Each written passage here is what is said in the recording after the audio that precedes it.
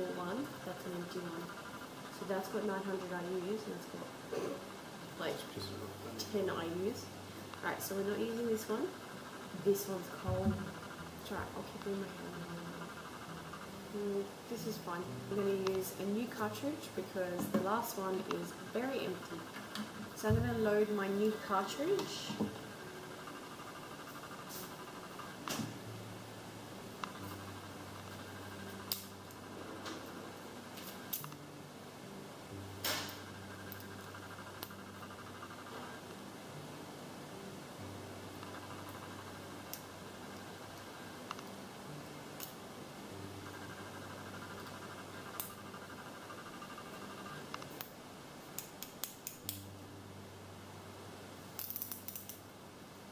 I'm on 200 I use a Puregon.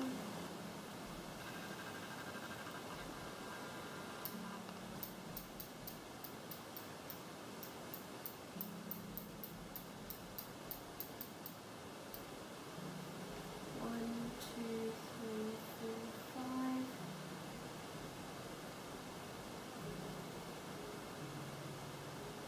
Puregon is done.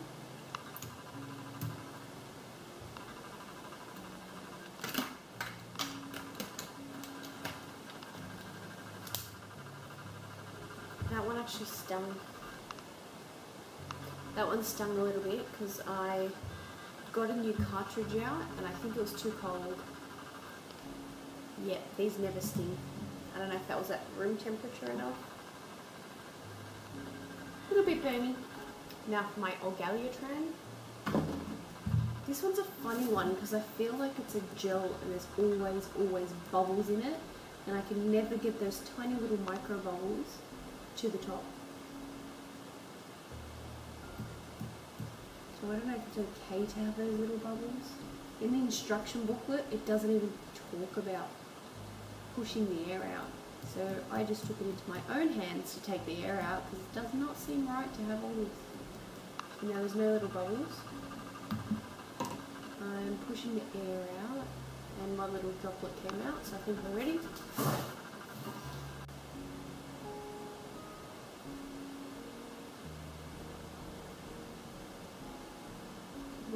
Two, three, four, five.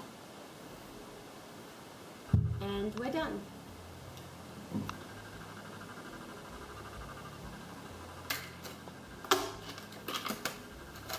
I'm so bloated. I find I always bruise not on the first day but on the second day. But I guess that's normal with any bruise as soon as someone you know, you hit something, it doesn't come up straight away. It takes a while for the, the bruise to come up. Today I felt very, very bloated and a bit crampy. Um, I've been, I don't know if this is a symptom of it, but I've just been feeling really tired for the past maybe three days. But I guess I, maybe I haven't had enough sleep. Tomorrow is day 12. I have my fourth blood test and scan, um, ultrasound. They'll count my follicles. I had on my third scan, I had one follicle and 11 that were uh, not ready yet. So I'm hoping that those 11 um, follicles are ready now. So fingers crossed they tell me I have uh, 12 follicles.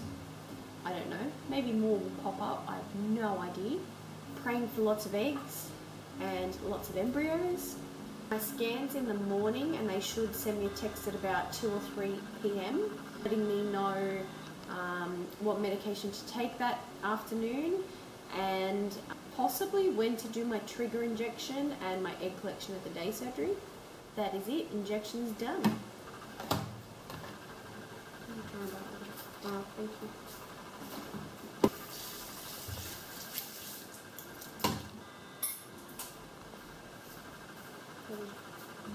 Are you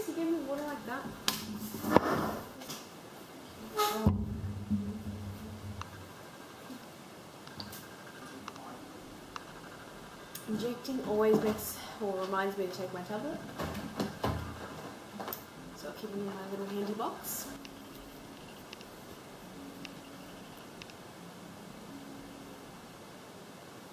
Where I injected the Orgalutran, it's a little bit kind of a bit wilted, little bit red, bit bit like a big mosquito bite. That's all good. It's um yeah, it goes down. Goes down after a little while.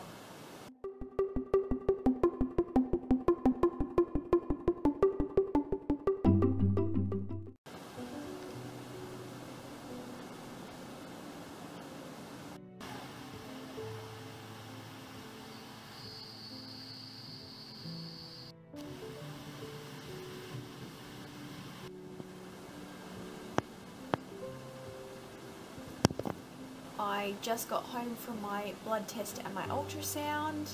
The person who did my ultrasound said that I now have 16 follicles, 9 are at full size and ready. The nurses will please send me a text message maybe at 2 or 3 pm just to let me know what my next steps are. Normally they tell me the injection dose, when to take it and when my next, either when my next scan is or in this case maybe when my trigger injection is to trigger ovulation. So I guess that means right now there might be 9 potential babies. Not all follicles contain eggs, so even though there's 9 follicles there might not be 9 eggs. As far as I know, um, follicles might not contain eggs, but they might contain two eggs. Um, I really have no idea. I'll have to Google that one. The ultrasound lady said that the nurses could possibly do the egg retrieval now. If they do it now, they might collect about nine follicles, or they might postpone it and sacrifice a couple of the follicles, but potentially gain some more follicles. So I guess it's kind of a gamble. Um, I'll leave it up to the nurse's hands. I don't know what they'll decide, but I guess I'll know soon. So I did my scan first, and then once I had learned that new information, I I was ready to get my blood test, and I was a bit emotional, and maybe it's all the hormones, um, like the hormone injections, but I did want to cry. yeah, it's an emotional time. I probably was happy, not that I'm sad, I'm very hopeful. I guess it's it's good to get all these updates, but it also makes it hard not knowing what the outcome's going to be. I guess um, each person going through this, it's it's everybody's body is different, and I guess it's the luck of the draw. You just don't know until until egg retrieval or until we create embryos. It's all up to the professionals now. My appointment was at 8.15 this morning. Um, so I woke up, got in the car, drove to the train station, um, was just about to get on the train when I realised I forgot my folder. Um, my folder's got all my IVF referrals in it, um, my referrals, all my blood test referrals.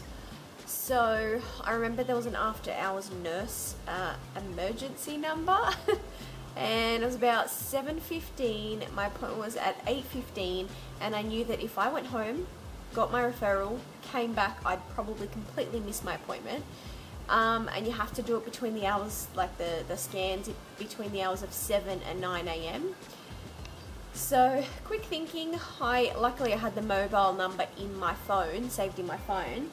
So I dialed the nurse's number, the emergency call, and it didn't go through the first time, rang it again, didn't go through the second time, and I'm freaking out thinking, oh my god, I've just missed my scan. Like, I can't make it. Um, so the third time lucky, she picked up the phone call and sounded like she was still still asleep. Um, so I asked her, "Is it okay if I if I turn up to the blood test without any referral?" And she said, "Yep, that's fine. Just go to the front desk. They open at eight o'clock." So my scan test was at eight fifteen. Um, so I went to the front desk and got them to reprint my referral. Um, so all they needed was my Medicare card. So lifesaver. um, but yeah, it's good to know that at least if I do forget it again, that I can just um, get it printed out again. But generally, I do my scans at about 7 o'clock in the morning. Um, so, but I start work at 9 o'clock, so yeah. I've just got to remember next time, bring your referral. you're half asleep, you don't think of these things. Hello.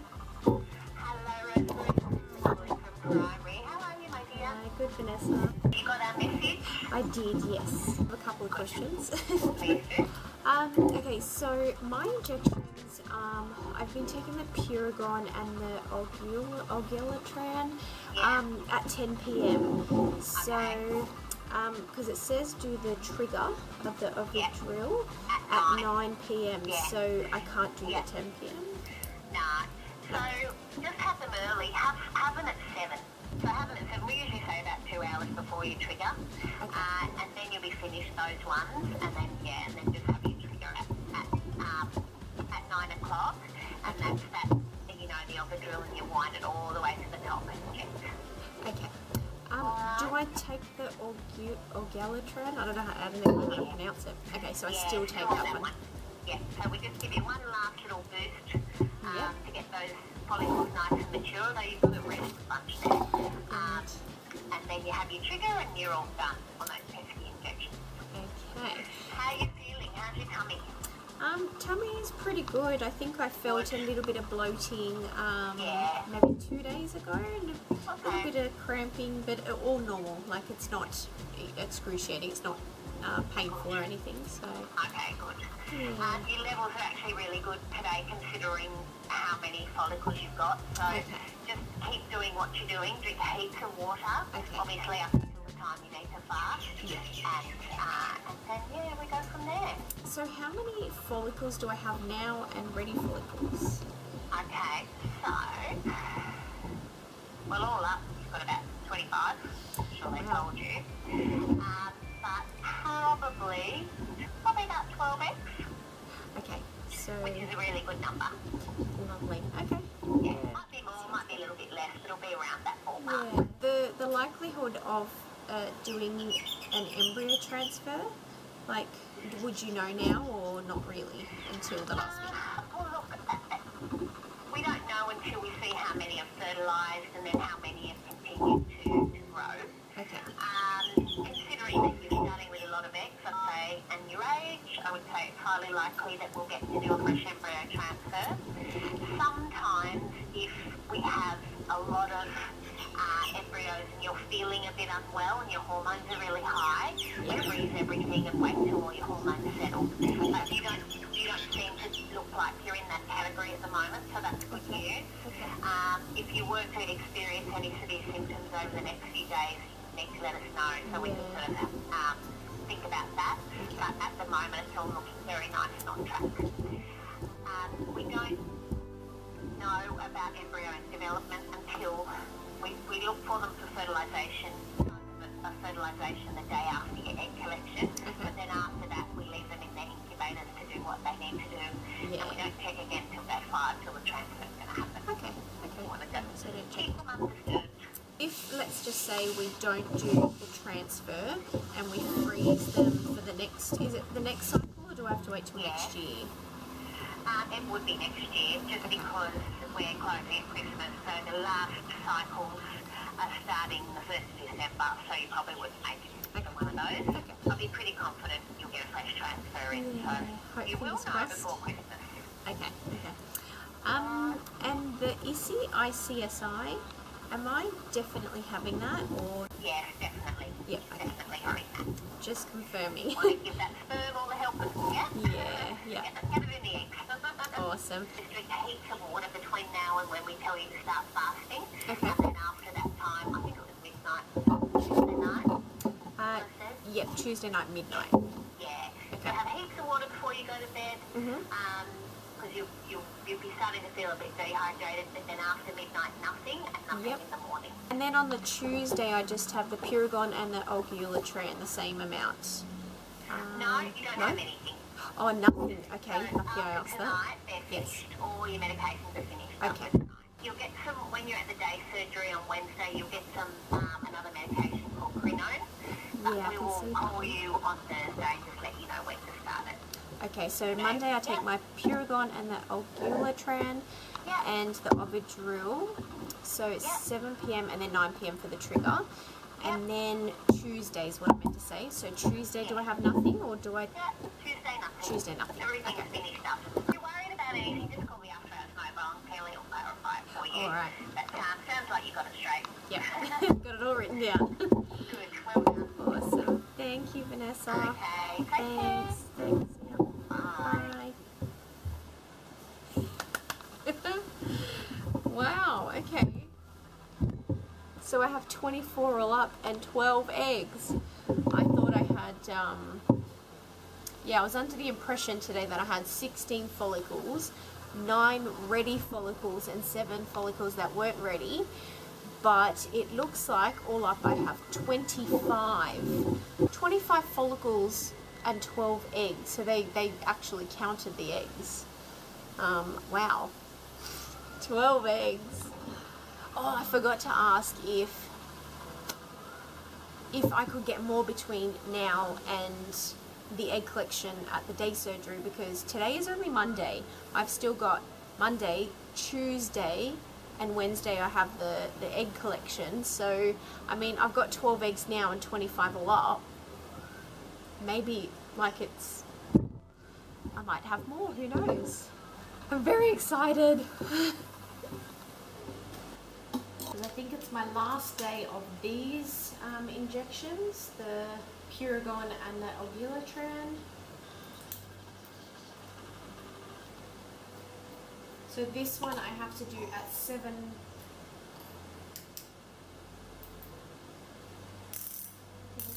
My Puregon dose is 200. I do feel very bloated. I've... Mark does not like needles. No, do it straight. You're not straight.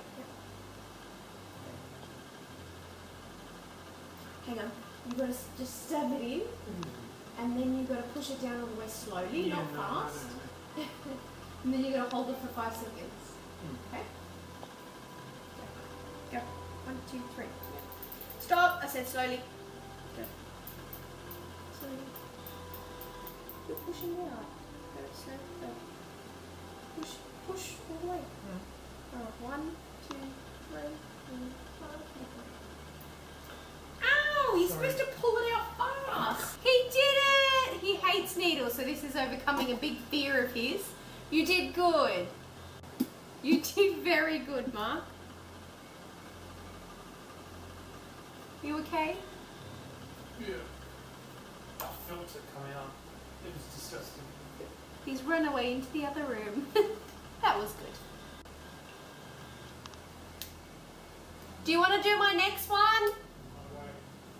What, you want to?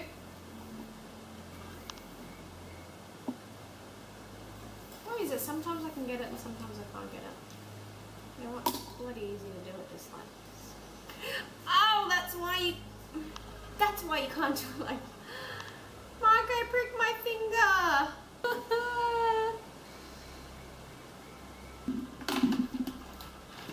I think on the last day I'd get it right. That bled more than my stomach. That's good. Now for the Orgalutran. Mark, I've got one more. Come on, you can do it. Just pouring the air out of it.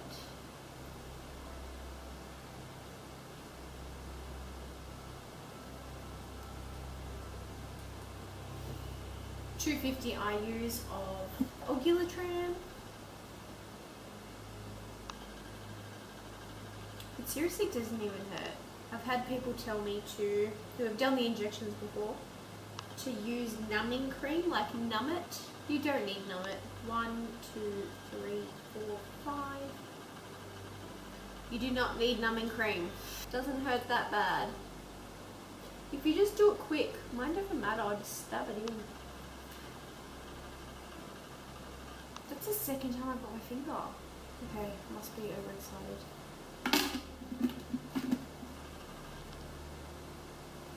That is my 7 p.m. injections done. Puregon and Orgalutran, 200 IUs and 250 IUs of Orgalutran. Now we have to wait till 10 p.m. to take my trigger injection. I don't even know how to take it, so I've got to read the manual.